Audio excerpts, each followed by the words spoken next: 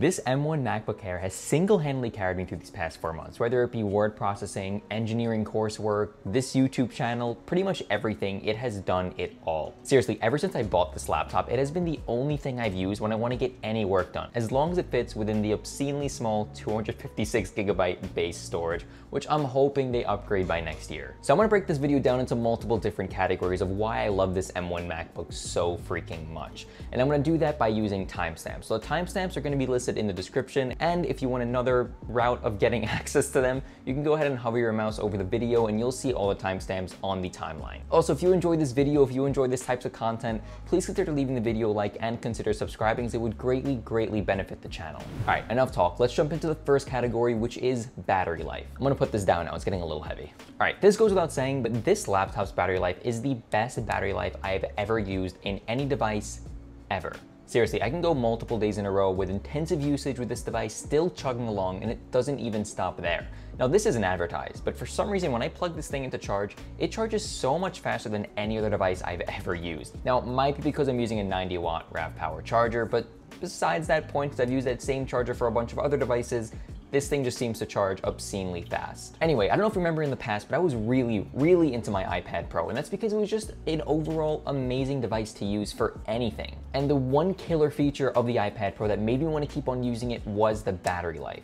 Now take the iPad's battery life and morph it into a full-blown laptop with a desktop operating system and you get the M1 MacBook Air. I would literally go from like two days of battery life on my iPad to going back to my Windows laptop where I'd have like maybe six hours if I'm pushing it, to this guy where I'm right back to like the two day battery life. It basically just comes down to freedom. I know that if I fully charge this thing the night before, I can take this thing anywhere and everywhere without needing to bring the charger with me. And that's that one little piece of information that made me wanna just keep on using this thing, not being constrained to a wall outlet or to a charger. All right, enough praise about the battery life life, let's move on to the next category, which is build quality. Now to put it bluntly, the build quality of the MacBook Air is great. Keep in mind, I may not be the best judge of this because up until this point, I've only had like really crappy plasticky Windows laptops. So I'm going from a plasticky build to an all metal build. I'm sure if you compare this to other really high quality Windows laptops, it would be a completely different ballgame. But in my experience with this laptop compared to my old ones, it is amazing. The screen is crisp and color accurate, at least as much as I'd need it to be. The speakers are loud and clear, so if I just wanna kick back and watch some Netflix, I can do that without needing to pull and grab some headphones from a corner of my house. It's kind of crazy having good laptop speakers because up until this point, I've been dealing with like you know, just regular run-of-the-mill speakers that I never really loved, but they were just good enough. Now going to this guy where I don't even want to use headphones because the speakers are just so loud and so clear that it makes watching anything just beautiful. The keyboard, the trackpad, which by the way, the rumors are true, it is probably one of the best trackpads I've ever used. Just all around, it is just amazing. There is one gripe with the build quality that comes when you're paying that Apple premium, and that is upgradability or repairability in general. On a Windows laptop, at least with most of them, if something breaks, no problem. Grab a screwdriver, a Phillips, unscrew the back plate, take out whatever you need to, replace whatever you need to. It's pretty much self-explanatory. With the MacBook Air and even with the main storage being soldered onto the motherboard now,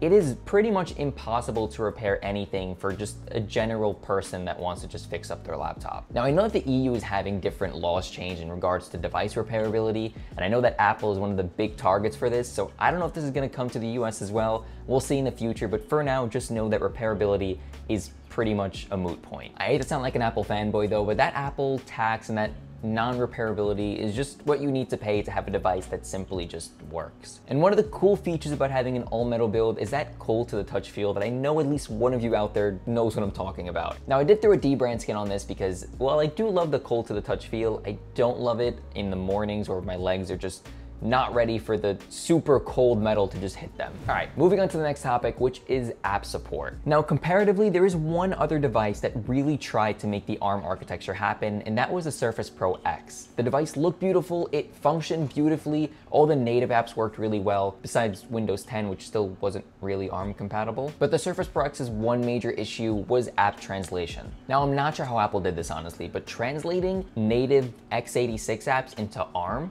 works flawlessly. If you like run a side-by-side -side comparison of Photoshop running on Surface Pro X's translation system and Apple's translation system, it is leagues of different. And compare that to the fact that Apple is now having a lot of people translate their apps onto ARM, and compare that to the fact that Adobe never released native versions when the Surface Pro X was out, but now that the MacBook Air is out with the M1, Adobe has, I believe, released Photoshop, Lightroom, and I think there's a beta for the Premiere Pro M1 application. If you don't know this types of architecture stuff, this probably won't make any sense to you, but basically, Apple's architecture needs to be recompiled for developers, meaning that if you want a native version of your application to run on the new MacBooks with the ARM architecture, you have to manually update your app to make it support. It doesn't happen automatically unless you're using Rosetta 2. This is why I'm kind of surprised that developers are taking the time, the money, the resources to translate apps onto the MacBook because Rosetta 2 is still a thing. But anyway, we're only four months into the M1 ecosystem and there's already a huge ton of apps that are released for the M1. And there's a website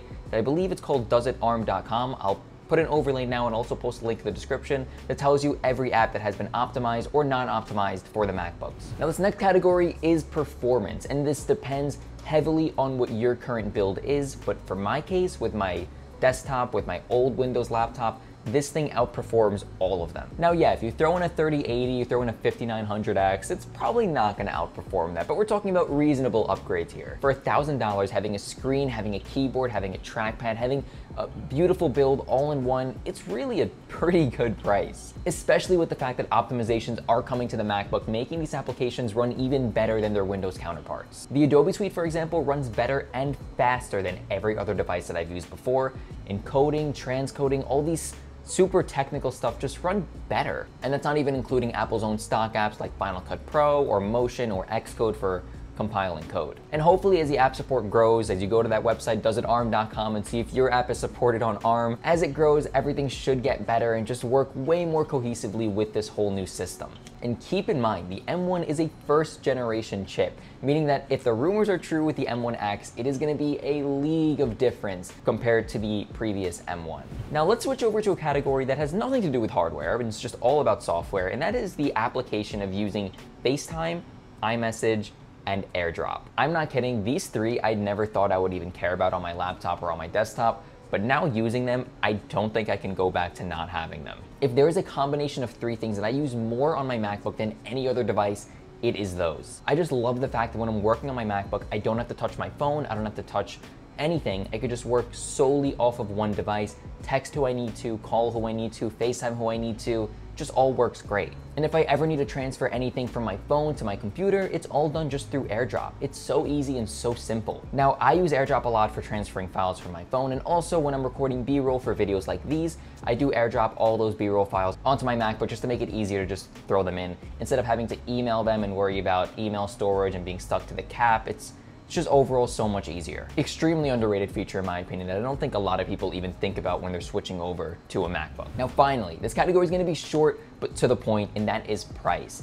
$1,000 is by no means a small amount of money, don't get me wrong, but comparatively to other really high-end Windows laptops and high-end desktops, maybe not the best comparison, let's stick to laptops. Compared to other high-end laptops, the MacBook is a deal. For the amount of performance that you're getting, the screen that you're getting, the keyboard, the whole build quality, everything together just makes that $1,000 price tag seem even juicier. Now I was hoping that because Apple switched to their own chips and they're making the chips themselves that they could reduce the price hopefully down to like 900 or 800 like they did with the iPhone 12 this year. It didn't happen. Hopefully in the future as M1 becomes more established, prices will drop. And that's it. That's pretty much all I wanted to touch on on price. So I hope you guys enjoyed the video. If you did, please consider leaving the video a like and consider subscribing if you did enjoy and I'll catch you guys in the next one. Peace out.